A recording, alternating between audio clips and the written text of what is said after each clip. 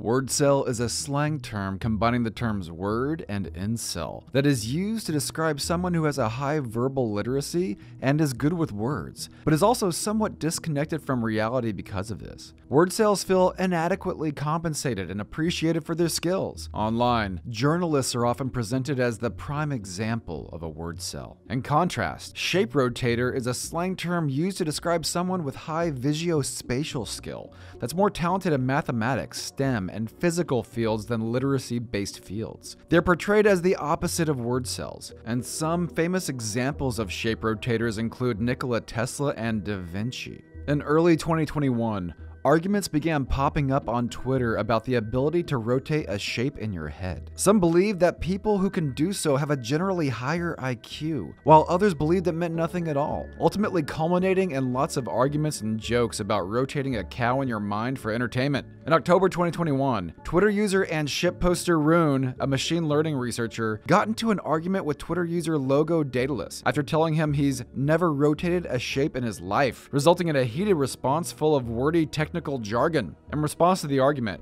Roon officially coined the term wordcel to describe Daedalus. Two months later in December, Roon posted a slang overloaded tweet about crypto bros that would spread the term to the mainstream, writing, Deep learning versus crypto is a clear divide of rotators versus wordcels. Although he did popularize the term, wordcel was first used on 4chan in 2019 in a similar manner, although it's unclear if Roon saw the term there first. The tweet inspired users to take sides as arguments and memes about wordcels versus shape rotators took off off on Twitter, many simply confused about what it all meant. In January, Mel Magazine wrote a piece about the terms, likening them to incel culture and popularizing mathcel and numbercel as synonyms for shape rotators. On February 2nd, Entrepreneur Marc Andreessen tweeted that wordcels often win head to head fights with shape rotators because shape rotators spend 90% of their time rotating shapes and only 10% wordcelling. Word cells Wordcels wordcel 24 7. This inspired the psychologist Jordan Peterson to quote tweet the post, writing, Goodbye STEM under the wordcel woke onslaught, essentially boiling the terms down to their broad political connotations. Wordcel representing woke culture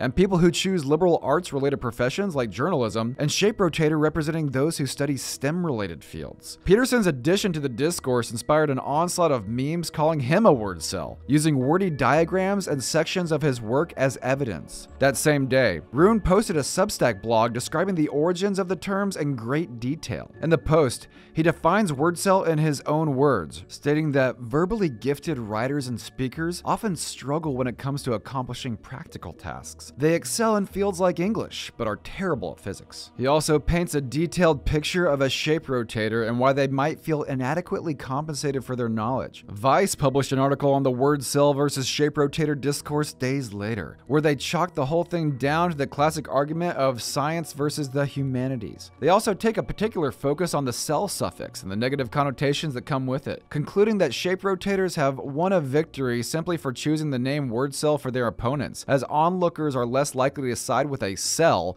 thanks to the term incel. Ultimately, None of this discourse is meant to be taken too literally, despite how serious it all may sound. Roon emphasizes this in his Substack post, encouraging people to explore the ideas with an open mind and reminding everyone constantly that he's a shitposter at the end of the day. The wordcel versus shape rotator discourse is ongoing on Twitter, and Roon is now selling merchandise to capitalize on the meme.